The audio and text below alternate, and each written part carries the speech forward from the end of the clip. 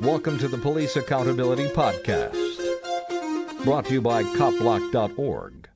CopBlock is a decentralized project supported by a diverse group of individuals united by their shared goals of police accountability, education of individual rights, and the sharing of effective tactics to utilize while filming police.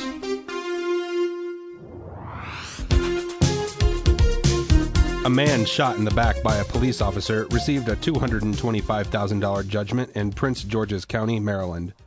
According to witnesses, the shooting was unjustified.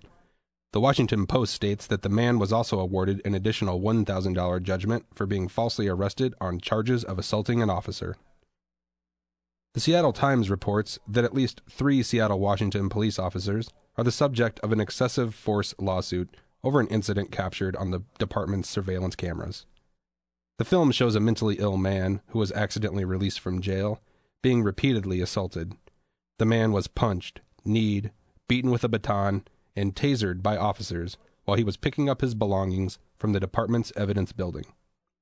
Police say the man was trying to attack them with a screwdriver, but the video shows otherwise. In Long Beach, California, police detectives have arrested Officer Benjamin De Los Santos and former officer Derek Dinsmore for grand theft of weapons. According to the Long Beach Press Telegram, the arrests stem from another Long Beach police officer who had numerous weapons turned over to him. However, the department alleges that not all the weapons were placed into evidence. At first, it was believed that Officer Damian Ramos was acting alone, but last week these two additional officers were added to the list. De Los Santos, a six year employee, was booked for receiving stolen property, conspiracy, grand theft of firearms, embezzlement, and circulation of a false document. He and Dinsmore are being held on $20,000 bail. An officer from the Provo, Utah Police Department has come forward saying that his department covered up a potential misdemeanor committed by Spanish Fork Police Chief Rosenbaum. The chief was allegedly involved in a shoplifting incident at a Dillard's store in the Provo Town Center Mall last June. Local KSL TV received a video showing the potential shoplifting caught on tape. What was shown on the video did not match police reports. As far as looking further into the matter, the police department considers the case closed.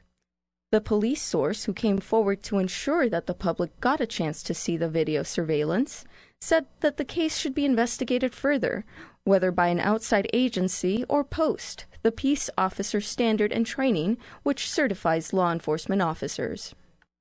Wayne County, Michigan deputies and Detroit, Michigan police are being accused of staging a raid on a club without justification in order to boost revenue. The police were planning on using civil asset forfeiture laws in an attempt to pad their dwindling budget.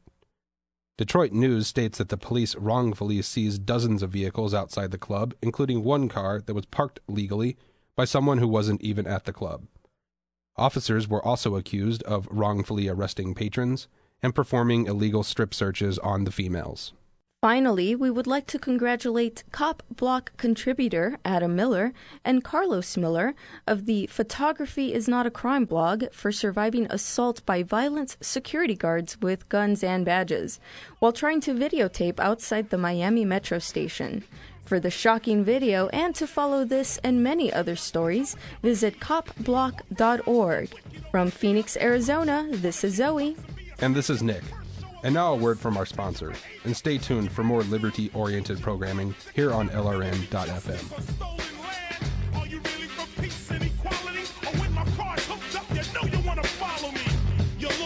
to